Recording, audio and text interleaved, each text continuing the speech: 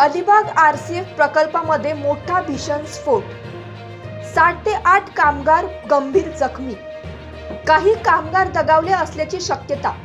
मात्र कंपनीकडून अद्याप कोणतीही घोषणा नाही.